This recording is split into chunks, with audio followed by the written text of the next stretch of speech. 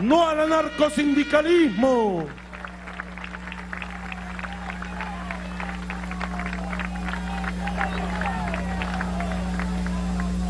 Decía Bolívar, eh, unámonos o la anarquía nos devorará.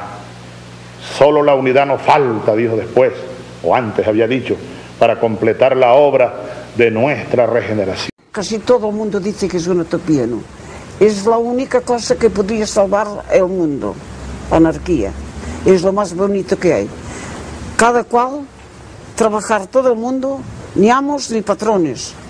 La CNT, Confederación Nacional del Trabajo, el sindicato anarco-sindicalista, al inicio de los acontecimientos revolucionarios del 36, unía a un millón de trabajadores. La CNT es el intento de los obreros de organizarse eh, para conseguir económica y socialmente una sociedad mejor, en, dentro de la cual a un poco largo plazo está la autogestión, o sea, la capacidad obrera para asumir eh, todas las funciones que ahora tiene el Estado. O sea, sustituir al Estado. Pero, ¿qué significa comunismo libertario? ¿Qué querían los proletarios españoles? Al contrario del comunismo de Estado, que está basado en la gestión estatal de la vida económica y social, es decir, en la burocracia omnipotente que actúa o dice actuar en nombre del proletariado y que desemboca necesariamente en tiranía absoluta. El comunismo libertario se basa en la autoorganización por el proletariado de toda su vida. El anarcosindicalismo es el medio por el cual los propios obreros, junto con los técnicos, autogestionan las fábricas, decidiendo en todos los aspectos los problemas de la producción. El federalismo es el medio de unión entre fábricas afines y complementarias. Las comunas agrícolas son el medio para la realización de la libertad y la igualdad entre los campesinos. Comunas, a su vez, federadas entre sí. Los intercambios entre ciudad y campo, entre país y resto del mundo, vienen regulados a través de comités de aprovisionamiento y de comités de comercio exterior.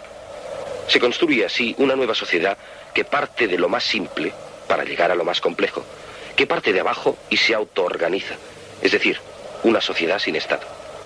En efecto, todas las funciones tradicionalmente desempeñadas por el Estado son asumidas por el proletariado.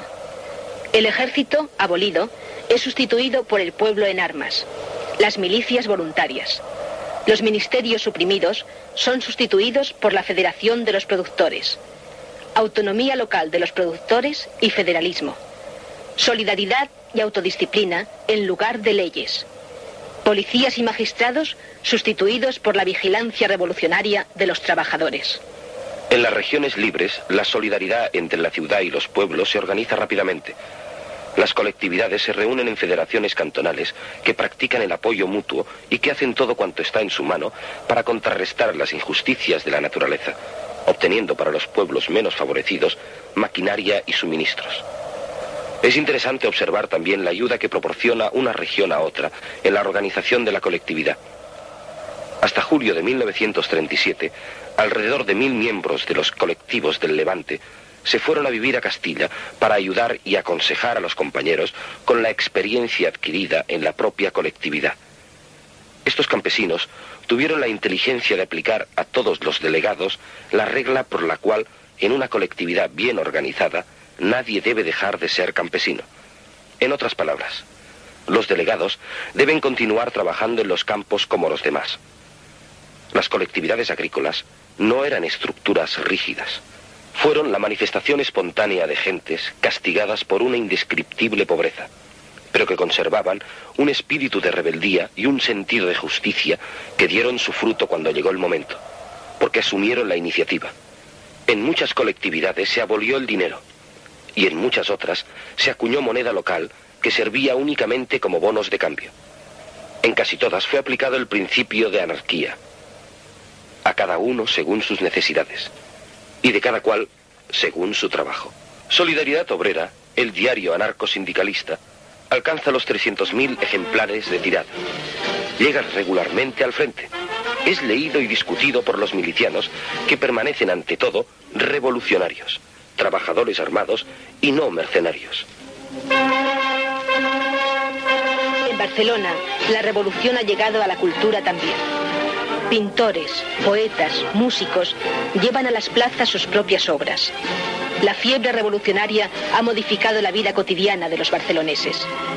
El concierto termina con el himno revolucionario de los anarquistas españoles, Hijos del Pueblo.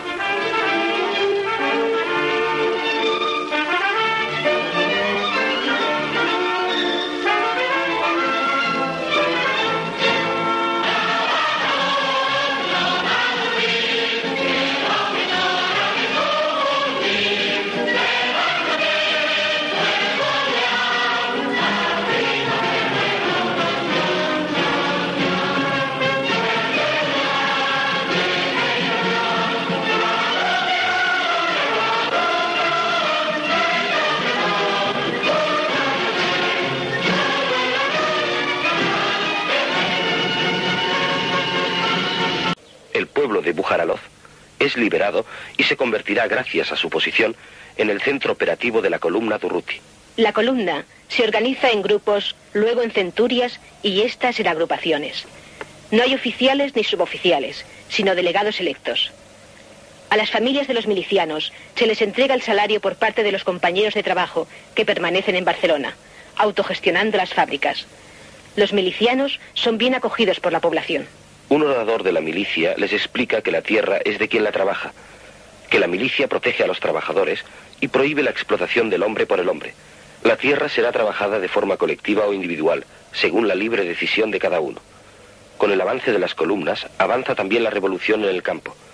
El abastecimiento es proporcionado a la milicia directamente por los campesinos. En el transcurso de pocos meses, gran parte de los campos de Aragón, Levante y Cataluña serán trabajados en un régimen colectivista espontáneo. Casi 3 millones de campesinos se organizan en 1.700 colectividades autogestionadas, según criterios igualitarios, sin patronos ni burócratas. Un enorme experimento popular de comunismo libertario. De Barcelona continúan saliendo columnas de voluntarios. Y también de Valencia, liberada después de dos semanas de asedio a los cuarteles por los obreros revolucionarios.